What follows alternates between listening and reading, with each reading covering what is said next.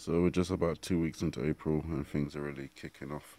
Um, April 11th is uh, tomorrow, considering it's gone past 12 o'clock now, and it's the 10th of April over here in the UK. Um, just a quick update regarding what's happened recently. Donald Trump ordered some uh, missile strikes on uh, Syria.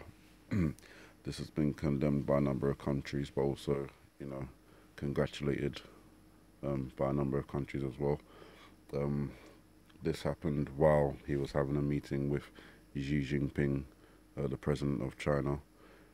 Um, it seems like every time Donald Trump is having a meeting with a foreign representative, something happens. Like when he met the Japanese prime minister.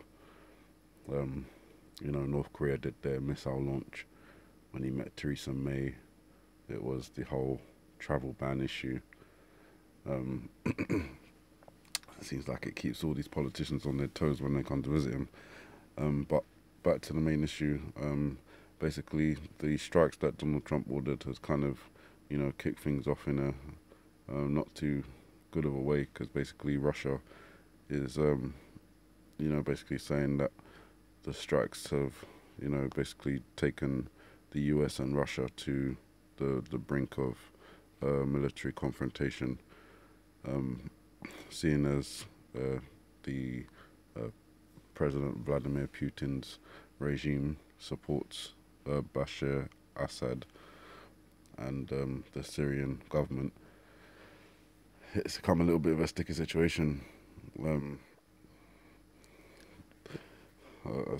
aside from that, the US is, you know, I think antagonizing North Korea by you know, sending the Navy strike force to the Korean waters in response to the rogue nation's nuclear threat. Um, a while back in uh, December, there was an, a, a news story going around that a, a website called 38 North, which is a North Korean analyst website, had picked up some satellite imagery showing that um, the North Koreans were preparing a nuclear submarine for launch.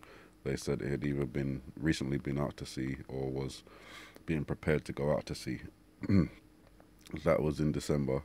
Um, I did a little bit of research on submarines and just to see how long they can stay underwater. You can see there's like three months, but that depends on the supply of food. Um, so if you can cram more than 90 days worth of food into your submarine, then you can stay underwater for longer, basically uh, recycles the water and recycles the water for oxygen as well. So you can pretty much live under there. Some submarines um, can stay underwater for up to 25 years.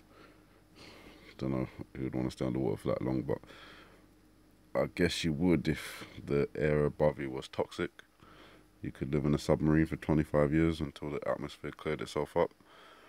Um,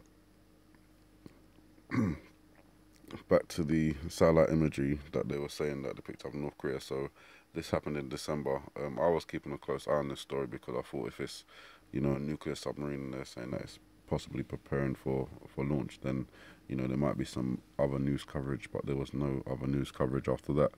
Um, my thoughts there are possibly that submarine may have slipped out somewhere in January and, you know, currently whereabouts unknown, um, not even being missed, not being looked for.